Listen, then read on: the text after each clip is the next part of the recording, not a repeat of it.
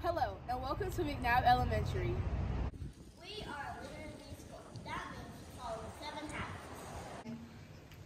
What are the seven habits, you ask? Allow the Student Lighthouse team to tell you. Habit one, be proactive. That means you're in charge. You can be proactive by packing your school lunch for tomorrow and getting your backpack ready for the next day.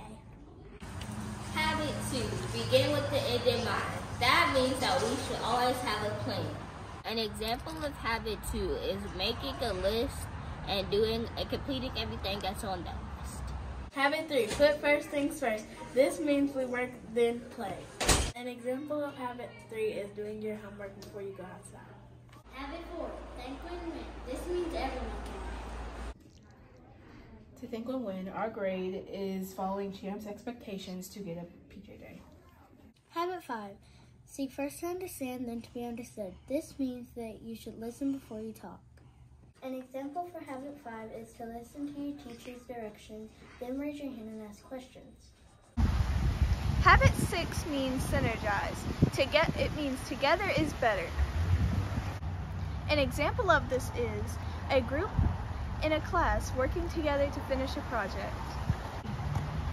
Habit seven, sharpen the saw. This means a balanced life feels best. An example of how I sharpen the saw is that I like to read very much and it makes me feel good when I read. Well guys, I hope you enjoyed learning about the seven habits today.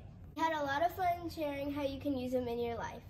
We challenge you to use the seven habits not just at school but with your family and friends too. We're the Student Lighthouse team signing out.